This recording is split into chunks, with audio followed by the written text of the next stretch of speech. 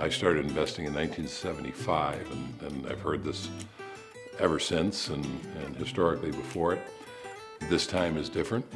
Uh, you know, all those great market returns were, were a golden time. The market from 1975, when I started investing, until now has grown on an average, I think, of 12%. Now, I'm not predicting it's going to continue to do that. People say, well, that's a golden age, you can't repeat it. That might be true. I would be more conservative in my projections looking forward, but I will say this.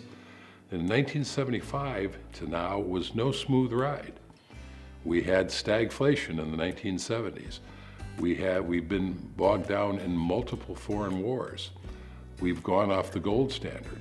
Uh, we've had, in 1987, the single worst uh, percentage decline in the market in a day. We had the huge collapse uh, in 07, 08.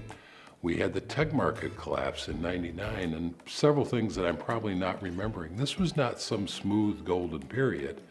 And yet, while the market was very volatile, at the end of the day, on average, it went up 12% a year. That's extraordinary. That's extraordinary. So do we need a golden period for the next 40 years to see great returns? No.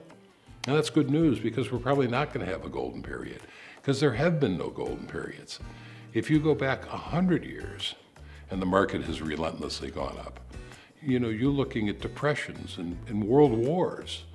And does the market respond to those things and go down as it volatile? Absolutely.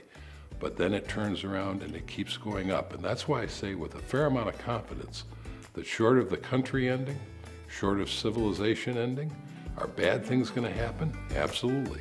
Is that going to make the market volatile and scary? Absolutely. Is the market going to recover and continue to go up and be higher 20, 30, 40 years from now? Absolutely.